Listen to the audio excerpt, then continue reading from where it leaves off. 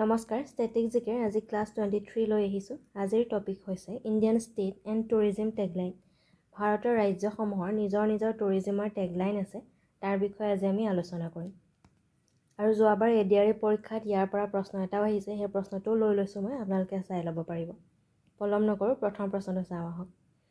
God's own country is the tagline for tourism of which state of India ভাৰতৰ কোনখন ৰাজ্যৰ পৰ্যটনৰ tagline হৈছে গডছ অ'ন কাণ্ট্ৰি এই প্ৰশ্নটো আপোনালোকে দেখা পাইছে। যোৱাবাৰ A D R E paper ওৱানত আহিছিল। অপশ্যন চাই ল'ব।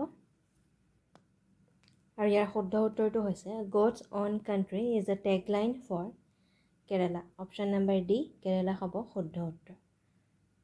ইয়াৰ পাছৰ প্ৰশ্নটো incredible India is a tagline of which organization অতুল্য Bharat এইটো কোনটো সংস্থাৰ টেগলাইন হয়? প্ৰথমতে আপোনালোকে কওক শুদ্ধ উত্তৰটো হ'ব। এইটো হৈছে ইণ্ডিয়ান টুৰিজিম ইণ্ডিয়ান টুৰিজিমৰ টেগলাইন হৈছে অতুল্য Bharat along with the slogan অতিথি দেৱ ভৱ ঠিক আছে টেগলাইনটো মনত ৰাখিব। ইণ্ডিয়ান টুৰিজিমৰ টেগলাইন হৈছে ইনক্ৰেডিবল ইণ্ডিয়া আৰু ইয়াৰ শ্লোগানটো হৈছে অতিথি দেৱ ভৱ ঠিক আছে? মই লিখিয়ে দিছোঁ বাৰু অতিথি অতিথি দেৱ ভৱ আৰু ভাৰতৰ মিনিষ্টাৰ অফ টুৰিজিম কোন হয় বাৰু? টুৰিজিম মিনিষ্টাৰ মিনিষ্টাৰ কোন হয়? তেখেত হৈছে তেখেতৰ নামটো মই লিখি দিছোঁ জি কিষাণ ৰেড্ডি। ঠিক আছে তেখেতৰ নামটো মনত ৰাখিব। ইয়াৰ পাছৰ প্ৰশ্নটো what is the tag line of tourism of Nagaland নাগালেণ্ডৰ টুৰিজিমৰ টেগলাইনটো কি হয়? And the correct answer is option number D land of festival land of festival ঠিক আছে? আৰু নাগালেণ্ডৰ ফেষ্টিভেল বুলি কওঁতে আমাৰ মনলৈ আহিব লাগিব সেয়া হৈছে হৰ্ণবিল ফেষ্টিভেল পৰীক্ষাত প্ৰায় এইটো প্ৰশ্ন আহে যে হৰ্ণবিল ফেষ্টিভেল ক'ত পালন কৰা হয়? আমি ক'ম নাগালেণ্ডত ঠিক আছে? আৰু নাগালেণ্ডৰ কেপিটেল চিটি হৈছে কহিমা। ইয়াৰ পাছৰ প্ৰশ্নটো।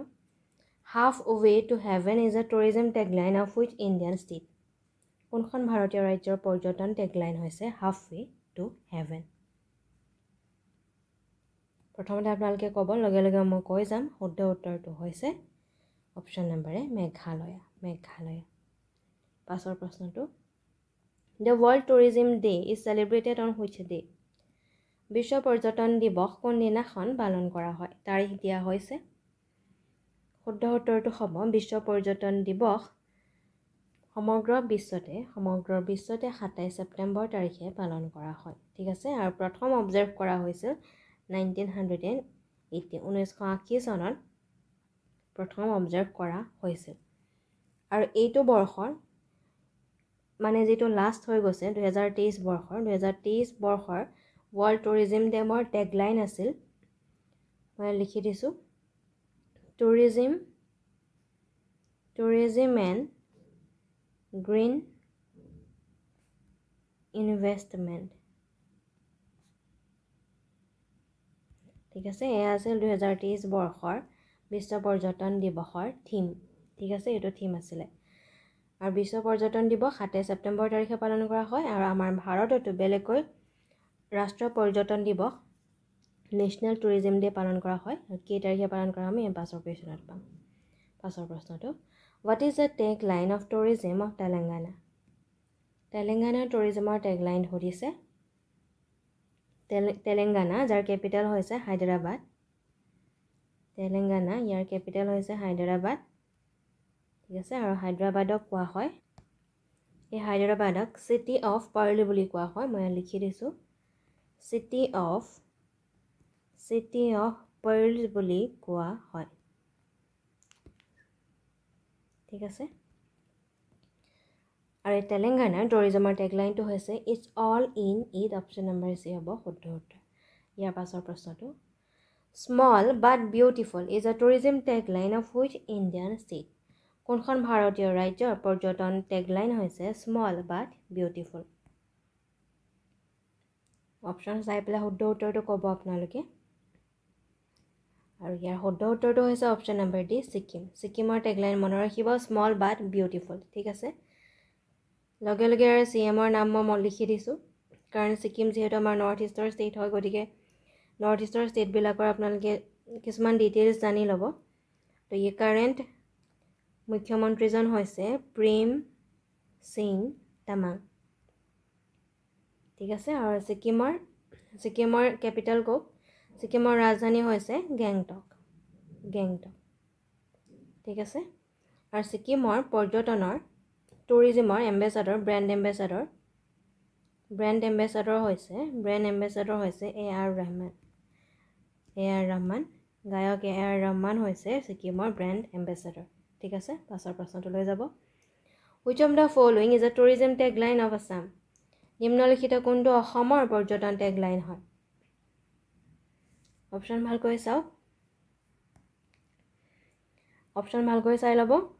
অসমৰ পৰ্যটনৰ টেগলাইন টেগলাইন হৈছে option number D the Asom Assam the Asom Assam ঠিক আছে? আৰু ইয়াৰ অফিচিয়েল ভিডিঅ' নিশ্চয়কৈ আপোনালোক সকলোৱে দেখিছিলে য'ত অফিচিয়েল ভিডিঅ'ত কোন আছিলে? প্ৰিয়ংকা চোপ্ৰা। প্ৰিয়ংকা চোপ্ৰা আছিল এক্ট্ৰেছ প্ৰিয়ংকা চোপ্ৰা আছিল তেখেত সেই সময়ত অসমৰ পৰ্যটনৰ ব্ৰেণ্ড এম্বেচাডৰ আছিল ঠিক আছে? আৰু ইয়াৰ লগতো মই ভিডিঅ'টোৰ শেষত দি দিম। আমাৰ অসমৰ টুৰিজিমৰ লগতো ভিডিঅ'টোৰ শেষত দি দিম। ঠিক আছে? লগে লগে মনত ৰাখিব যে অসমৰ বৰ্তমানৰ টুৰিজিম মিনিষ্ট্ৰী কোন হয়? পৰ্যটনৰ মিনিষ্টাৰ কোন হয়? মিনিষ্ট্ৰী নহয় মিনিষ্টাৰ কোন হয়? তেখেতৰ নামটো ক'ব। তেখেত হৈছে জয়ন্ত জয়ন্ত মল্ল বৰুৱা। ঠিক আছে? এই কথাবিলাক আপোনালোকে মন ৰিলেট কৰি মনত ৰাখি যাব। ইয়াৰ পাছৰ প্ৰশ্নটো jewel of incredible India is a tourism tag line of which of the following state অতুল্য ভাৰতৰ ৰত্ন এইখন কোন এইটো কোনখন ৰাজ্যৰ টুৰিজিম টেগলাইন শুদ্ধ উত্তৰটো হ'ব মণিপুৰ মণিপুৰ। পাছৰ প্ৰশ্নটো the essence of incredible India is a tourism tagline of this the essence of incredible India ডেছৰ tourism tagline হয়। শুদ্ধ উত্তৰটো হৈছে Andhra Pradesh option number C পাছৰ প্ৰশ্নটো seven thirty three number what is the tourism tag line of Arunachal Pradesh Arunachal প্ৰদেশৰ পৰ্যটন tag line সুধিছে। শুদ্ধ উত্তৰটো হ'ব। Option number C the land of dawn lit mountain option number C হ'ব শুদ্ধ উত্তৰ। আৰু অৰুণাচল প্ৰদেশৰ বৰ্তমানৰ চি এম কোন হয়? তেখেত হৈছে পেমা পেমা খাণ্ডু। ইয়াৰ পাছৰ প্ৰশ্নটো লৈ যাব। Full of surprises is the tourism tagline of which state এইটো কোনটো ৰাজ্যৰ পৰ্যটন টেগলাইন হয়? শুদ্ধ উত্তৰটো হৈছে ছত্তীশগড়। ছত্তীশগড়ৰ টেগলাইন হৈছে ফুল অফ ছাৰপ্ৰাইজেছ আৰু ছত্তীশগড়ৰ কেপিটেল হৈছে নৱ ৰায়পুৰ ঠিক আছে পাছৰ প্ৰশ্নটো লৈ যাব। One state many world is the tourism tagline of এইটো কাৰ পৰ্যটন টেগলাইন সুধিছে? শুদ্ধ উত্তৰটো হ'ব। One state many worlds is the tourism tagline of Karnataka option number B হ'ব শুদ্ধ উত্তৰ। লগে লগে কৰ্ণাটকৰ কেপিটেল চিটি কি হয় কওক? কৰ্ণাটকৰ কেপিটেল চিটি হৈছে বেংগালোৰ বেংগালোৰ বা বেংগালুৰু পাছৰ প্ৰশ্নটো। What is the motto of Madhya Pradesh tourism development corporation মধ্য প্ৰদেশ টুৰিজিম ডেভেলপমেণ্ট কৰ্পৰেশ্যনৰ মটো কি হয়? প্ৰথমতেই দিছে গডছ অন কাণ্ট্ৰি লগে লগে আমি নহয় বুলি ক'ম। এইটো নহয় কেলৈ নহয়? কাৰণ আমি প্ৰথম প্ৰশ্নতে পাইছোঁ এইটো যোৱাবাৰ এ ডি আৰিটো আহিছিল যে গডছ অন কাণ্ট্ৰি কাৰ হয়? কোনখন ষ্টেটৰ হ'ব? কেৰেলা কেৰেলা নহয় জানো? গতিকে আমাক সুধিছে মধ্যপ্ৰদেশৰ মধ্যপ্ৰদেশৰ মধ্যপ্ৰদেশৰ মটটো হ'ব। The heart of incredible India the heart of incredible India option number C হ'ব কাৰেক্ট আনচাৰ ঠিক আছে পাছৰ প্ৰশ্নটো লৈ যাব। What is the tourism tag line of Punjab পাঞ্জাৱৰ টুৰিজিম টেগ লাইন সুধিছে শুদ্ধ উত্তৰটো হৈছে ইণ্ডিয়া বিগিনছ হিয়েৰ ভাৰত ইয়াতে আৰম্ভণি হয়। ইণ্ডিয়া বিগিনছ হিয়েৰ আৰু ইয়াৰ কেপিটেল হৈছে পাঞ্জাৱৰ কেপিটেল কি হয় কওক? কেপিটেল চিটি হৈছে চণ্ডীগড়। চণ্ডীগড়। ঠিক আছে পাছৰ প্ৰশ্নটো। The incredible state of India is a tourism tagline of which state নাম্বাৰিংটো double হৈ গৈছে। কোনখন ৰাজ্যৰ টুৰিজিম টেগলাইন হৈছে the incredible state of India option চাই ল'ব ভালকৈ। আৰু শুদ্ধ উত্তৰটো হৈছে the incredible state of India is a tourism tagline of Rajasthan option number A হ'ব শুদ্ধ উত্তৰ। এলং উইথ দ্য শ্লোগান পধাৰো মাৰো দেশ ঠিক আছে? ৰাজস্থানৰ পধাৰো মাৰো দেশ ইয়াৰ লগত শ্লোগানটো আছে। ঠিক আছে?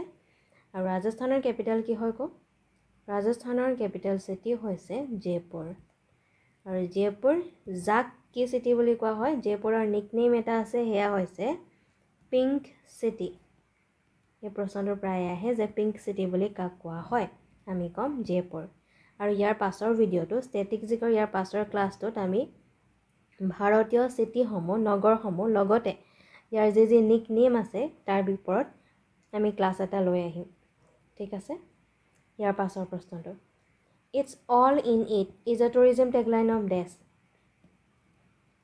আৰু কাৰেক্ট এনচাৰটো হৈছে তেলেংগানা তেলেংগানা। পাছৰ প্ৰশ্নটো in India national tourism day is celebrated on ভাৰতত ৰাষ্ট্ৰীয় পৰ্যটন দিৱস পালন কৰা হয়। আমি ৱৰ্ল্ডৰ কথা খন্তেক আগতে পাই গৈছোঁ।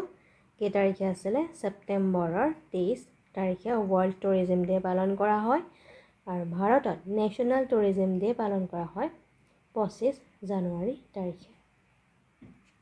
ঠিক আছে। পাছৰ প্ৰশ্নটো। প্ৰশ্নটো পঢ়িব a perfect holiday destination is a tourism tagline of which state কোনখন ৰাজ্যৰ পৰ্যটন টেগলাইন হৈছে a perfect holiday destination option পঢ়ি চাব আৰু শুদ্ধ উত্তৰটো হৈছে অপশ্যন নম্বৰ গোৱা গোৱা যি হয় যি বাই এৰিয়া ভাৰতৰ আটাইতকৈ স্মলেষ্ট ইণ্ডিয়ান ষ্টেট ঠিক আছে? ইয়াৰ পাছৰ প্ৰশ্নটো পাছৰ প্ৰশ্নটো পঢ়ি চাব who has been appointed as a first brand ambassador of Sikkim option পঢ়ি চাব ছিকিমৰ ব্ৰেণ্ড এম্বেচাডাৰৰ কথা সুধিছে আৰু খন্তেক আগতে আমি পাইছিলোঁ গোৱা গোৱা হৈছে ভাৰতৰ আটাইতকৈ সৰু ৰাজ্য আৰু ছিকিম হৈছে ভাৰতৰ দ্বিতীয় ছেকেণ্ড স্মলেষ্ট ইণ্ডিয়ান ষ্টেট ঠিক আছে second smallest state of India is Sikkim আৰু ছিকিমৰ ব্ৰেণ্ড এম্বেচাডৰ কথা ক'লে আমি মনত ৰাখিব লাগিব A R Rahman A R Rahman ঠিক আছে? লগে লগে অপশ্যন নম্বৰ এড যি আছে শ্বাহৰুখ খান তেখেতে ৱেষ্ট বেংগলৰ পশ্চিমবংগৰ ব্ৰেণ্ড এম্বেচাডৰ আছিল। কিন্তু ইয়াৰ কিন্তু তেওঁ তেখেতৰ পাছত তেখেতৰ পাছত সৌৰভ গাংগুলীয়ে তেখেতক ৰিপ্লেচ কৰিছে। গতিকে এতিয়াৰ কথা সুধিলে আমি ক'ম সৌৰভ গাংগুলী ঠিক আছে? তেখেতক যোৱাটো বৰ্ষত দুহেজাৰ তেইছ বৰ্ষত ব্ৰেণ্ড এম্বেচাডৰ হিচাপে নিয়োগ কৰা হৈছে। ইয়াৰ পাছৰ প্ৰশ্নটো। ইয়াৰ পাছৰ প্ৰশ্নটো what is a tourism tagline of Gujarat গুজৰাটৰ পৰ্যটনৰ টেগলাইনৰ কথা সুধিছে। অপশ্যন নম্বৰ চাই লওঁ। শুদ্ধ উত্তৰটো হ'ব খুচবু গুজৰাট কি অপশ্যন নম্বৰ বি লগতে ইয়াৰ ব্ৰেণ্ড এম্বেচাডৰ হৈছে অমিতাভ বচ্চন অমিতাভ বচ্চন ঠিক আছে? আৰু ইয়াৰ শ্লোগান হৈছে ইয়াৰ শ্লোগান হৈছে কুচ দিনটো গুজাৰো গুজৰাট মি ঠিক আছে? পাছৰ প্ৰশ্নটো। What is the tourism tag line of Himachal Pradesh আৰু শুদ্ধ উত্তৰটো হৈছে আনফৰগেটেবল হিমাচল আনফৰগেটেবল হিমাচল পাছৰ প্ৰশ্নটো। What is the tag line of Haryana tourism শুদ্ধ উত্তৰটো হৈছে হাৰিয়ানাৰ টেগলাইন হ'ব a pioneer in highway tourism option number D হ'ব কাৰেক্ট এনচাৰ লগতে ইয়াত আমাৰ অসমৰ চাওক অসমৰ পৰ্যটনৰ লগতো দিয়া হৈছে অসম আছাম ঠিক আছে? গতিকে আজিৰ ভিডিঅ'টো আছিলে মানে আশা কৰিছোঁ আপোনালোকে ভালকৈ প্ৰিপেৰেশ্যন চলাই আছে ভালকৈ প্ৰস্তুতি চলাই যাওক। আমাৰ ফালৰ পৰা শুভেচ্ছা থাকিল। আৰু ভিডিঅ'টো শেষৰলৈকে চোৱাৰ বাবে ধন্যবাদ।